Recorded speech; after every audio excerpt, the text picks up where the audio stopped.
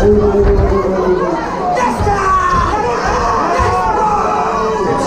not even any encouragement so far this one.